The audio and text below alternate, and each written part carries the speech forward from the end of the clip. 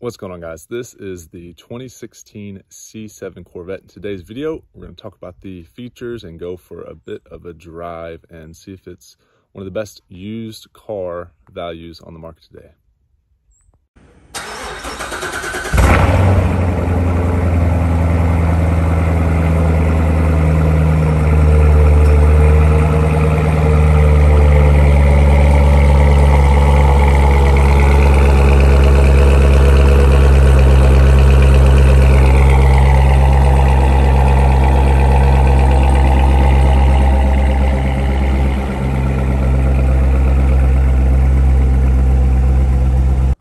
So I've got a 2015 Mustang GT Performance Pack manual transmission car.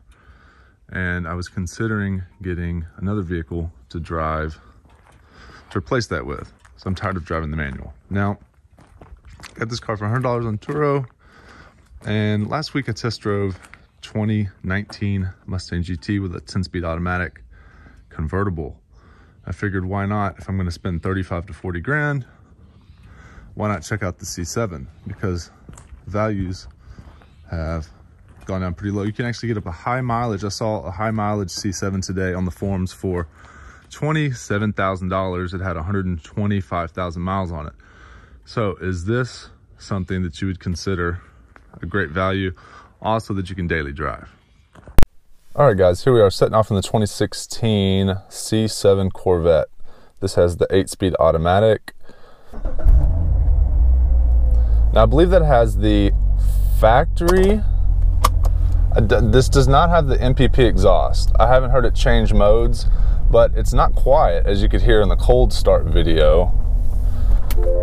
So let's first just talk about the experience from the driver's perspective as soon as you jump in the car. Now, it has the little the button on the inside of the door handle it's electronically controlled. It's not a handle it's a push button. It's right inside the door and that's how you get inside the car. Now when you step into the vehicle i daily drive my mustang okay? Not a big deal. Easy car to daily. I didn't realize how easy the car was to drive daily compared to something like the c7 when you jump into the C7, you don't you don't jump into it. You drop down into it. You slide into it.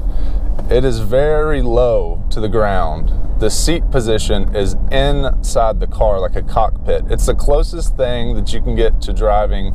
It feels like you're in a race car or a go-kart. The way that this seat sits, I don't know if you can see my leg. My leg is pretty much up against this most of the time my other leg is pretty much against the door most of the time. The seats are, are hugging my thighs and my butt and my back.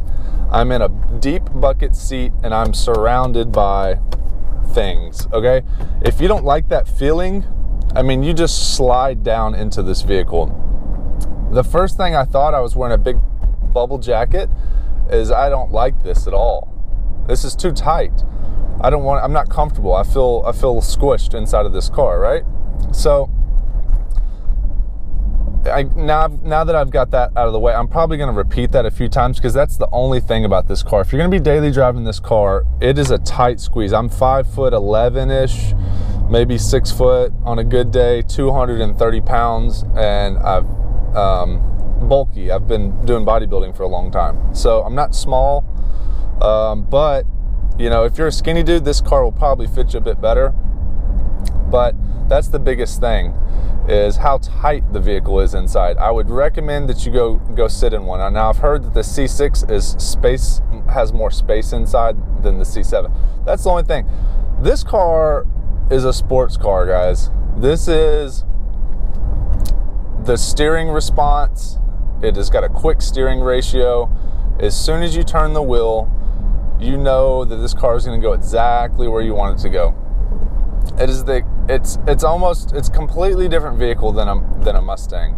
And the reason I keep comparing it is that's the one that I've been driving for the past five and a half years, and I've driven you know over I've owned over 40 or 50 cars, something like that. So I've I've had my share of inside of different vehicles. What do you want to know? So the driving experience. This steering wheel is small. It has a flat bottom this is like a race car, guys. This feels like you're in a race car. It is amazing. Um, I would not want to daily drive this car. Like I said, getting in and out of the low seating position and feeling like you're stuck inside of a cockpit is not my favorite feeling. Um, unless it's just for the weekend, just for fun, right? And that's what we're doing today. So, where this car really shines is definitely on the back roads, definitely on these winding canyon roads.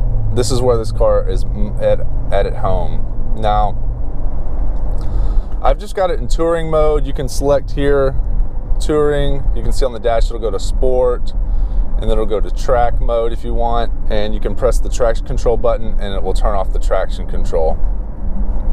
And I'll stomp on it a little bit on the way back up. But for now, we're just going to put it in tour mode and let it cruise. And now it's actually running on four cylinders, and the estimated miles per gallon is like 99 because we're going downhill. But on flat road, you can see the estimated uh, or the inst- instant fuel economy somewhere like in the 40s when it's when it's running on on the cylinder deactivation in touring mode. It cuts off four of the cylinders and it just cruises like a four cylinder. So one of the big pros is that this Corvette is lightweight and it gets great fuel economy because of the aero and the lightweight and the cylinder deactivation with this eight-speed automatic transmission it's going to get it's going to get one of the better fuel economies that you can get. Now this car has got 55,000 miles and I think it's been rented. I think it has something like 150 or 200 reviews on Turo. If 50% of the people leave a review on Turo, that means that it's got 400 rents under the on this vehicle. It's been rented 400 times. Who knows how many times. So this is a highly used C7. This is probably similar to like a 100,000 mile from a single owner that took decent care of it. I mean, this has just got a lot of abuse, a lot of wear and tear. I don't know if it's been abused, but it's got a lot of wear and tear on the basic interior pieces. You can hear something in the back going off, rattling a little bit. It sounds like it's scraping, but I know it's not. Just the little touch points are, you know, the steering wheel's shiny because it's worn down. Uh, how does it drive? This chassis is extremely rigid. Like, if you compare it to an S550 Mustang chassis, they're just night and day different. This car was built as a sports car, and it's hard to describe.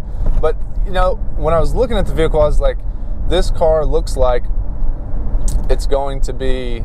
I, when I got in the car to drive it, it pretty much drove the way I'd expected it to be, like a straight up sports car. But what I mean by that is rigid chassis and torquey, but this car has a lot more torque than I expected it to be, and it's the chassis is way more rigid and direct. It changes direction through turns. I, I didn't understand. I didn't. I didn't know. I couldn't imagine. Let's say I could not imagine how well this car feels in the corners. It takes corners with such ease and it gives you lots of confidence when you're going through the turns. So, we're just gonna go up Sunset here, take a quick little spin, and I'll put it into sport mode and kind of let you guys see what I'm talking about. I'll go ahead and go manual. And I want to show you this torque shove. I'm just going to hit it through first here, if it'll stay down in first.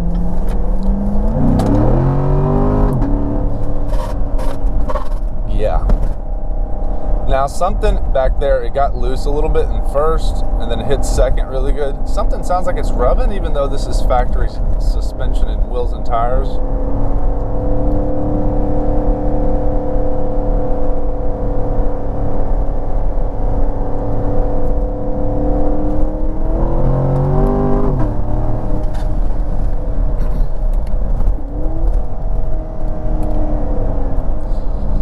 So there we go.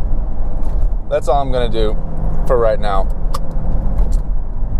So this car is extremely fast, guys. I thought that it was going to be fast, but this is almost I know it's just a C7. It's just a stock C7. I know. But man, is it fast. The torque shove is so strong. I couldn't imagine a Z06 the torque shove around 3,000 to 5,000 just there's no way an S550 from a roll. There's there's no comparison as far as torque. Initial initial torque when you jab the throttle is really strong.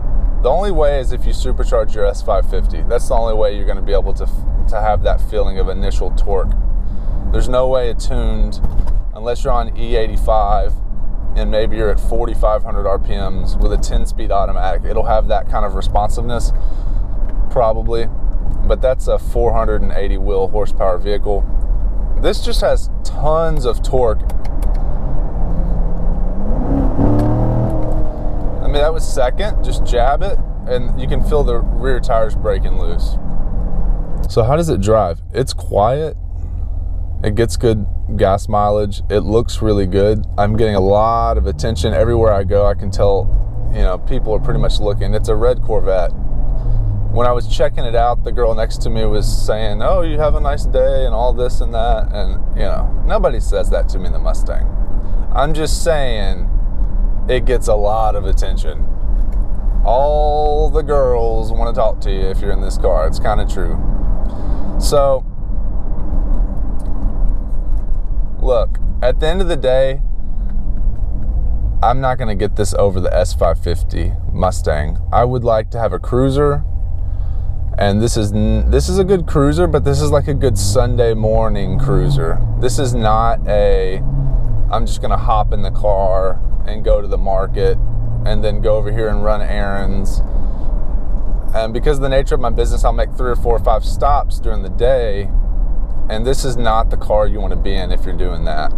It looks better, it's faster, it's a sports car, it's more of a sports car than the Mustang. But as far as just just jumping in and out and getting in and out of the vehicle, this is not the one you want to be dropping yourself into. It's a, just it's just a little bit too tight for me. And that's my only complaint is uh, that I'm getting an old man and I don't want us really tight, small ride. I don't know. I just feel like the, that the Mustang is just a more all around vehicle that gets you about nine, I'd say about 80% of the performance for about, you know, half the price. So the only, literally the only thing that, what I was going to say about this vehicle, if I could summarize it, is it is a serious car it's not it's not playing games. It is like a serious serious car. The chassis is rigid. It goes where you want it to. It's surprisingly extremely fast and torquey and immediate. It'll do anything that you want it to do with a lot of confidence, which can get you in big time trouble because it is so fast. And the Mustang is more playful and it's the Mustang is not as confidence inspiring as the Corvette. The Mustang feels looser, the suspension is looser obviously, and that's the biggest thing that I would say is that this is a serious purpose built car, sports car. This is a sports car. I thought that the Mustang had stepped it up a lot and it has but these are just two different vehicles. The Mustang is fun, daily driver that's a little sporty that has a big engine. This has all the torque and it's in a rigid chassis that is just made for going through the twisties. We'll do a little throttle here. Well, we didn't get to the red light. Let's just jab it again.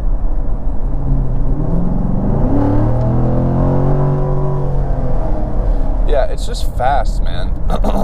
it just sits down, it hunkers down and goes. It's got a ton of torque. So if you're thinking about a used C7 and you're in the market for a used C7, I would say just just try to rent one and see if, if you're a previous Corvette owner, then you understand. Now, if you're a C6 owner, the interior might feel a little tight. Nice GT4 Cayman. The interior might feel a little tight, and I've heard the C8 Corvette interior is a little bit more roomy and spacious. I'm used to driving cars with space. I've got a Prius, a Toyota Sequoia four wheel drive, and the Mustang, and all those cars are not sports cars. This is literally the, the definition of a sports car. So as long as you know that's what you're getting yourself into, which I'm assuming you do, it just caught me by surprise how snug it is in here. It also caught me by surprise how torquey and fast and purpose purpose built this vehicle is. I mean, it is an, it is enormously fast and torquey. So, in summary, is it a great vehicle on the used market? Absolutely. Like I said, I saw one today for 28,000 that had like 120,000 miles on it, had the 7-speed manual. And then I've seen other ones in the 30s you can get uh, supercharged a supercharged C7. I saw one uh, today on the message boards. Look at all these Porsches. Look at all these air cooled Porsches. Porsche Club, Porsche Gang going to the car show in Malibu. So in summary, yeah, it's a great value on the used market. Just just know what you're getting yourself into. I mean, this is a serious beast and it's a serious sports car. And yeah, it's it's American, and I love it. It's American V8 front engine, rear wheel drive, eight speed, automatic transmission. Great car. This car is going to be more expensive to modify if you're going to compare it to like a Mustang or something. Um, and the Mustangs do a little bit better on boost.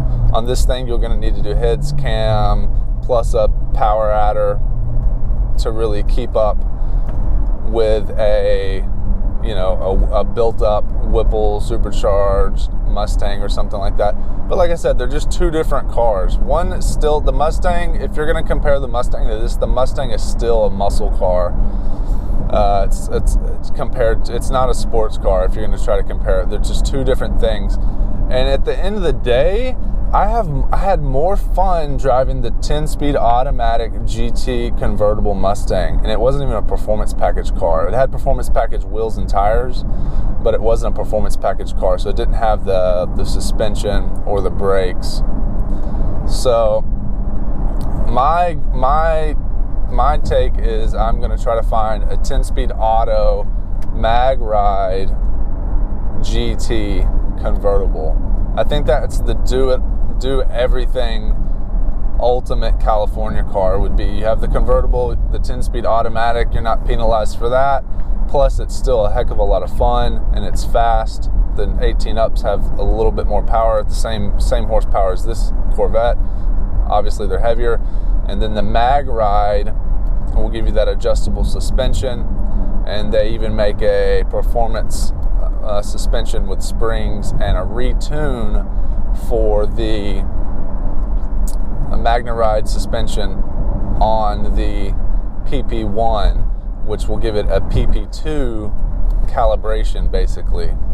So you can have PP2 performance if you upgrade the wheels and tires on the PP1 with the mag ride, if you do the calibration tune with the, with the springs and sway bars.